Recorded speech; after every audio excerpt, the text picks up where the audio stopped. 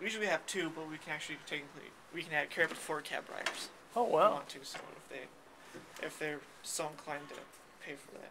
If, actually, the price isn't it's fifty bucks right in the cab, which isn't too. Wow. What? Yeah. A lot cheaper than Yeah. most tourists. Yeah, like, I've Yeah. Seen, like I seen the Cal. Last time I looked at like getting a cab ride at on the Cal Western with the forty five. I think it was like hundred bucks. Yeah.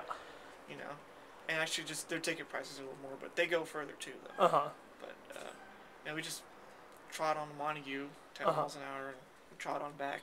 Wow. Yeah. Usually hour layover in Montague. People go have lunch. Uh, there's a museum in Montague too, Yeah. like a rare museum kind of thing. I'm not. I don't think they're open right now. I think they're usually open during summer months. Uh huh. Uh, it's actually in the old uh, Montague Depot. Okay. It's SP Depot. Uh, it used to be next to tracks, but you know of those things where they moved it away from the tracks. Mm-hmm. But uh, it's actually a nice depot. The upstairs and stuff they actually have done up where the station master quarters and stuff were. So it's actually pretty nice. Yeah. Uh, but uh, yeah, we're just Well, Definitely keep at it because it's definitely a great engine here. Yeah, Great. yeah. She All she the- does a she does a good job. Yeah. Uh, Definitely earns her keep. Yeah. She does good. Yeah. uh, there's been times where we use her for freight. Wow. Yeah. And, not just That- like photo freight thing. I mean, this is Real actual- freight. Yeah, so Revenue freight. Yeah, Wow. which is pretty much the only engine you can actually say gets used Used on a somewhat regular basis. We don't do it all the time. right. It's more of like the diesel engine is down. Only other thing we got is this. So we got it. That's a sight to see. Wow. So yeah, and it's Yeah. and and she'll she'll pull you know five or I think like six load cars up. As max she can pull up the hill. Okay. Uh, doesn't sound like a lot, but you gotta remember this They're- engine they're was That's cars. yeah. it's- 1915. Cars have really. pulling, you know, got Yeah. behind, you know, a couple, the cars are bigger couple than shot- Yeah, quite a So, bit. yeah. Yeah, yeah. you know, You know, they weigh on you know over 100 tons. Hundred tons. Yeah. well, you know, those loaded ship cars, you know, I think Yeah. probably way more than that. Yeah. loaded. Uh, just plus- the car alone weighs you know Yeah. 100 Yeah. tons or And then there's also, uh, you know, loaded ship cars and loaded bulkheads full of veneer, Yeah. Yeah. Yeah. The plant reserve. So, Yeah. uh, you know, those are pretty heavy, but you know, two and a half percent grade, it'll pull six or seven of them. It just Mhm. Does its thing. Yeah.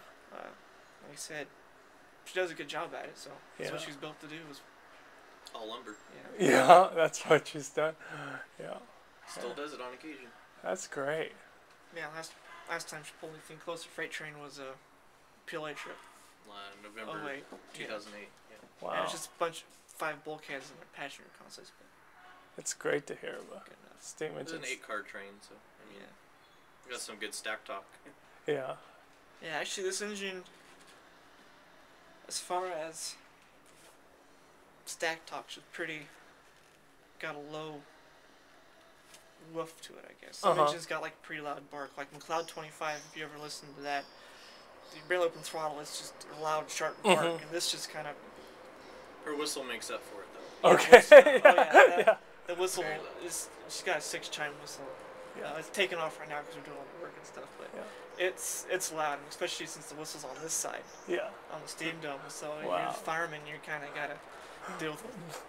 Yeah, especially if you got got an engineer who just likes to really Likes lay on. to say, hey, it's, So really lay on the whistle. it's on Yeah. my side. So so sometimes you it, when we're pulling out of Yreka and yeah. until we get down past the mill, since we got quite a few crossings, we usually wear earplugs, so we don't. Have to I listen. was I'd say yeah. I But because we, do- we do have quite a few crossings, yeah. uh, so we got a whistle for it. Uh, yeah, this is Well, this would definitely be a nice engine to get a cab ride. That yeah, it, it really is. It's Yeah. it's just like I said, we just kind of plod along and, yeah. and she does her thing.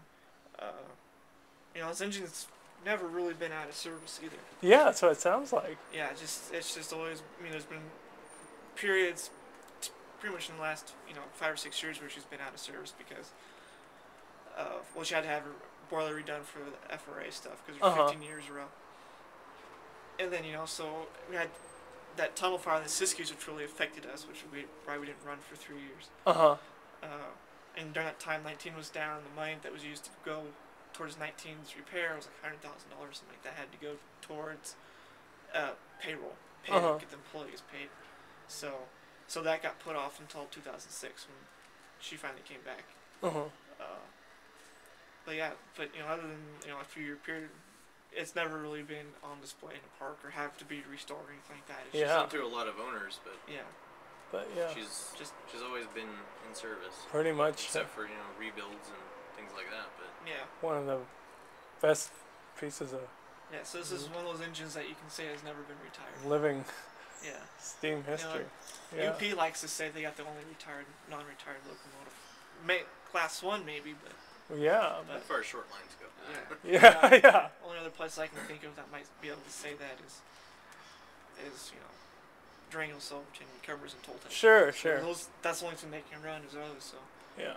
but uh, yeah, she just does her thing, and she turns 95 next month. Yeah. Wow. uh, according to the day on the blueprint or the directing drawing I I, Yeah. I have, uh, I think it's April eighth. Wow. I, is the day on it. So that's I guess you know you, you can say that this April eighth is Pancho's birthday. Wow. Uh, It just needs its firebox cleaned and Yep. So Some we'll, we'll get the flues cleaned. We, The we're, flues we're, what we're doing right now is we're is we're reaming the tubes. yeah. Uh, and then when we're done with that, the reamer gets all up, loosens it all up, Yeah. and gets all the shit out. And then we got uh, actually wire brushes and the wire brushes in there. We got Yeah. just a wire brush, personal cone kind of thing. And we'll run that through, and I'll, I'll clean the rest of them out. And then we'll Uh, clean out all the soot Yeah. yeah. on the firebox. Yeah, But- we gotta clean that out. Uh, We then got, a, we got a nice big pile up front now. But a lot and of then, and then uh, another thing we gotta do is, as the reamer and stuff only does the small tubes. mm-hmm. Now, if you look, we got the superheater tubes, Oh yeah. Sure. and we can't run any uh, uh, reamer or anything through there because Uh-huh. you got the superheater elements in there. Okay. Yeah. So those little, those actual pipes in there that run through there. yeah. So when we're done reaming the tubes and Yeah. wire brushing them, uh, at some point we want to take the engine outside and uh, we'll take a power wash to it and Okay. wash them out. Yeah. Also, you know, we also want to wash the engine down too. yeah. The Yeah. power washer, steam clean it, and get a lot of the uh, grease and junk off. Yeah. Road grime. Yeah, Road grime. Just built up road Just grime stop. at 95. and Yeah. that's, Well, it's, it's been cleaned off before, but yeah. uh, But that's about it. uh, she gets uh, a little too much grease sometimes, Yeah. so it, it builds up. So Sometimes she likes to puke on herself. Yeah. that that too. Uh, it's that's also what we kind of refer to as black grain. Sometimes you're starting out in the morning, you get a lot of some water and stuff built up in the bla- blast pipe, the smoke box and stuff. So Yeah. it all comes raining down on you, and, Yeah. and it's all black in the city. So Yeah. it's been a couple times I faces looks But- like I'm a Dalmatian. I bet a lot of people wish they could pull six cars of veneer at Yeah, age I've- 95. Oh, yeah. Yeah. I've, I've never fired doing that uh, because Yeah. it's like a weekday kind of thing. yeah. But it's a kind of stay on your toes when you're firing it. But Yeah. like, she, she does it and Yeah. goes right along. Wow. Uh, yeah, we're working as you know hard and fast as we can to get her ready to go. That's but we got we got plenty of time though. Yeah. Too. Sure. So Okay. I'm not sure. We're, we're not sure when we're gonna have our first Mm-hmm. day because we're, we're gonna run a it's like a limited excursion season Sure. this year. Uh, probably just special events a couple times a month. Mm-hmm. Uh, so For now, anyway. Yeah, I for now. Could change, but Yeah. you I never mean, know. we kind of we were really trying to get get word back out Yreka Western's going because we, you know, 2006 up through 2008, we were running, but not a lot of people knew about it. Right. People in town didn't know. Yeah. Yreka's a small town. You can hear the whistle anywhere in town. People didn't know we were running. Yeah, we were just down there, and several people we were. I'd seen your railroad before when we were going up to Seattle one time, and Uh-huh. then, and then when we were here, like we were looking for the Central Yreka exit, Yeah. and then several people there said, "Oh yeah, oh Yreka Yeah. Western's up." I mean, this is like I said, this is like the main tourist thing for Right. Yreka. And the time Yeah. anyone comes to Yreka is for this, Yeah. and you know, and also this is also important for Montague. Because Mhm. Montague's out of the way. Yeah. Yeah, it's only seven miles, but it's not gonna pull anybody off high five to get Yeah. It's a, it's a really so- small town. There's not yeah, a whole it's lot. it's it's you know if you get a chance, stop by there. There's not a whole lot there, uh, but Montague really relies on the excursion train because it takes people in during the summer, Yeah. and that's probably good.